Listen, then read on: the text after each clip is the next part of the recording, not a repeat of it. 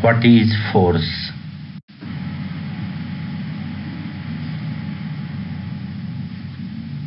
An external agent which change or tends to change position of an object is called force.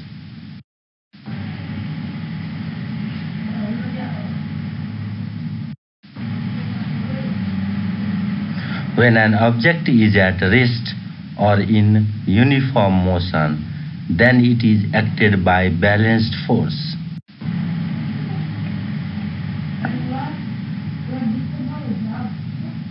One of the force is directed towards the earth, called gravitational force. Another is in opposite direction, called opposing or normal force. Net force is equal to zero. Both forces are in opposite direction, hence object remains at rest.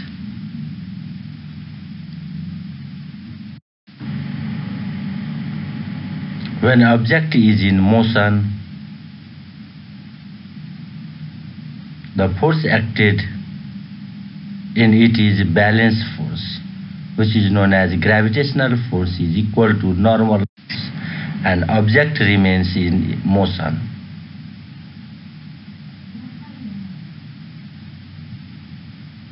Force applied on object at rest, it moves. When force applied on moving object, it stop. It is measured by spring balance.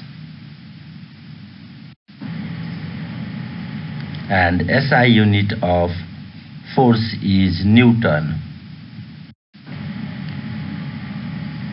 1 Newton force can be defined as the force which can accelerate body of mass 1 kilogram by 1 meter per second square.